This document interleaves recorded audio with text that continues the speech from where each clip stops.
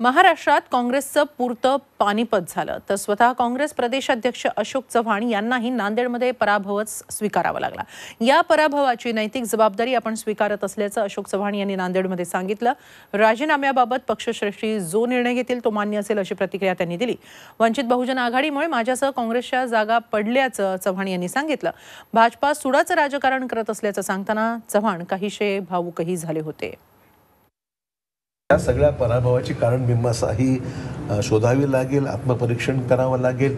देश पातळीवर महाराष्ट्रामध्ये जे काही घडलं आहे त्या संदर्भात इतुंभूत माहिती उमेदवार आणि त्यातून मग जे काही निष्पन्न झालेलं आहे त्याच्यावर काहीतरी करेक्टिव्ह ॲक्शन घ्यावीच लागेल ना? कारण शेवटी एका निवडणुकीमध्ये पराभव झाला म्हणून भाजपचं काही कायमस्वरूपी आंदण देश भार भाजपला दिला आहे किंवा राज्य दिलं आहे असं मानायचं कारण नाही. काँग्रेस पुन्हा निश्चितच उभारू शकते. कार्यकर्त्यांच्या मनामध्ये दृढ विश्वास आहे निर्धार आहे. ठीक आहे स्वाभाविक आज निकाल लागल्यामुळे थोडी निराशा कार्यकर्त्यांच्या मनामध्ये असू शकते.